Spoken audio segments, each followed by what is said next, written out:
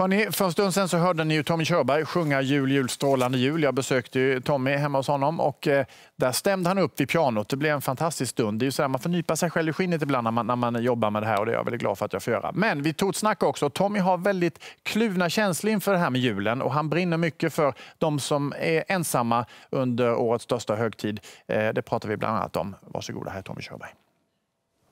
Tommy Körberg, eh, fullt upp inför julen. Fina konserter på, på Göta Lejon. Ja, adventskonsert. Kört eh, dubbla föreställningar varje adventssöndag. Ja. Så imorgon är de två sista. Hur känns det då? Det känns väldigt bra för det är fullt med folk och de tycker det är jättebra. Mm. För att jag, jag, som, jag, jag försöker ju vara lite allvarlig också. Som Leonard Cohen sa, allvar är ett nöje vi måste unna oss.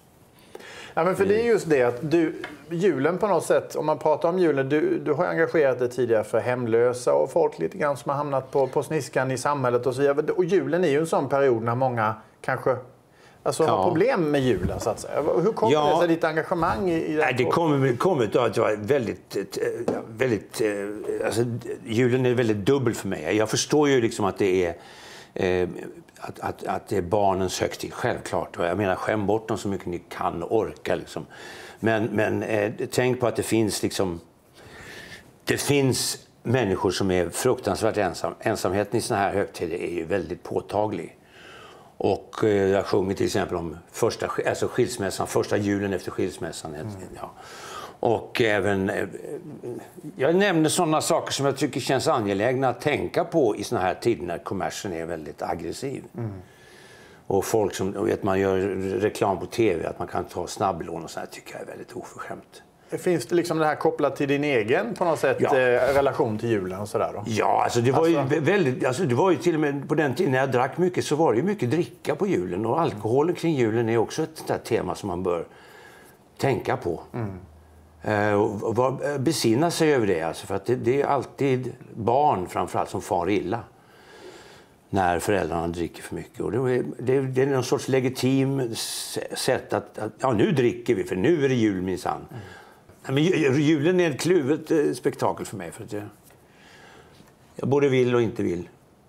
Men har, man, har man barn så ska man anstränga sig. Mm. Och sen är det, ska, julen ska ju vara i hjärtat och inte under granen. Så är det ju. Mm. Tommy, det har varit ett, ett, ett väldigt speciellt år. Eh, det, jag tänker på fyra eh, konstnärer som du har varit god vän med har, har mm. Eh, försvunnit. Rickard Wolff, det har varit Hasse Alfredsson, det har varit Gösta Ekman och Janne Loffe Karlsson. Ja. Du kände dem allihopa? Ja. Ja, hur tänker du själv då liksom, på något sätt? Alltså, det, alltså... Nej, alltså döden är ju där. Den, Gösta var alltid som sa, man ska alltid, tänk alltid på att du ska ha döden i byxfickan. Det finns inget kontrakt med livet. Den kan liksom lägga ner när som helst. Mm.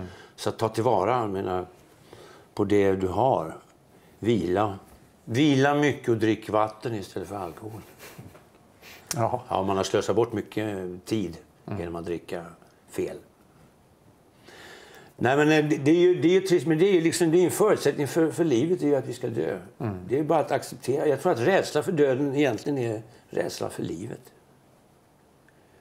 Så att ta tillvara på tillvaron så mycket ni kan, tycker jag. Ibland måste man ju lägga sig ner och vila. Mm. Men man behöver inte vara som de där människorna som gör ingenting och sen vilar efteråt. Nej, det är onödigt. Det finns de också. Ja. Tommy, du har ju gjort liksom internationella roller, du har gjort eh, enormt mycket här i Sverige. Det har varit stort, det har varit litet, det har varit alternativt, kommersiellt. Mm. You name it på något mm. sätt. Men vad känner du, du fyller 70 nästa år. Vad har du kvar? Vad finns det liksom som lockar dig fortfarande? Ja, jag, får, jag börjar väl om från början då. Sjunga pop? Nej, Nej men jag, min nyfikenhet är ju den som driver mig. Och jag, jag, jag går, åker ju buss och har lurarna med mig överallt. Eh, så fort jag får en stund över så kollar jag in. Eh, och, och eh, läser böcker, ligger och funderar. Och pratar med, med, med vänner som håller på och skriver och sånt där. Nu, nu är Thomas Andersson Vi, som jag har jobbat med tidigare. Vi håller på att prata om ett litet projekt och sen har jag ett projekt inför nästa höst. Jag ska leta rätt på lite American Songbook inför storbandsgrejer med Sandviken Big Band. Mm. Och sen senare ska jag göra med Bohuslän Big Band. Mm. Hoppas då kanske få jobba med Vince Mendoza. Ja, oj. Som är en, en idol. Jag har fått förslag på det. Ja. Så att jag menar, det... det Nyfikenheten ligger, finns där fortfarande? Ja, och jag liksom. ligger inte på latsidan. Nej. Nej, för då skulle jag, åh gud, jag skulle dö av leda. Leda baklänges i adel. Men du, var rädd om dig. Ja, det ska och, eh, go, god jul och gott nytt säger jag Ja, detsamma, Jesper. God jul och Trevligt att gott träffa nytt. dig och tack för att vi fick komma hit. Ja, ja, ja, ja. Tack.